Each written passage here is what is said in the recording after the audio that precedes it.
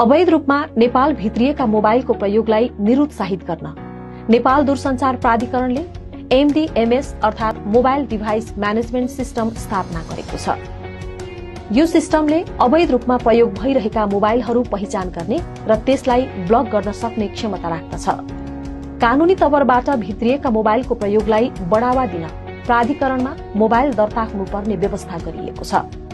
यदि तपाईँले नेपालमा रहेका आधिकारिक विक्रेता मार्फत भित्रिएको तथा भ्याट बिल सहितको मोबाइल खरिद गर्नु भएको छ भने त्यसलाई दर्ता गराइरहनु पर्दैन। तपाईँलाई बिक्री गर्नु अघि नै विक्रेताहरूले त्यस्तो मोबाइल प्राधिकरणमा दर्ता गराइसकेका हुन्छन्।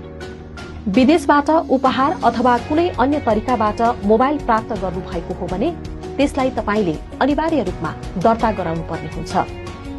यसका लागि प्राधिकरणले अनलाइन दर्ताको व्यवस्था मिलाएको छ। EIR dot NTA dot gov dot एनपीमा गएर त्यस्तो मोबाइल दर्ता गर्न सकिन्छ। सरकारलाई तिर्नुपर्ने राजस्व समेत छलेर अवैध बाटोबाट भित्रिएका मोबाइल प्रयोग गर्नु भएको छ भने त्यस्तो मोबाइल ब्लक हुन सक्छ। सरकारले यस्ता मोबाइल अवैध मानेर प्रयोगकर्तालाई पन्ध्र दिनभित्र ब्लक गर्ने सन्देश सहितको एसएमएस पठाउनेछ।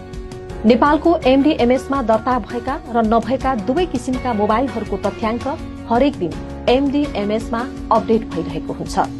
यसबाट तपाईँले कस्तो किसिमको मोबाइल प्रयोग गर्दै हुनुहुन्छ सजिलै थाहा हुन्छ। मोबाइल हराएमा अथवा चोरी भएमा त्यस्ता मोबाइल नेपालमा प्रयोग नै गर्न नमिल्ने गरी एमडीएमएसले प्रतिबन्धित गर्नेछ। यस्तो अवस्थामा हृदपूर्वक निवेदन दिनुहोला। त्यसैले दर्ता भएका मोबाइल मात्रै प्रयोग गरौं। मोबाइलको सुरक्षित र कानूनी प्रयोगलाई बढ़ावा दिउँ।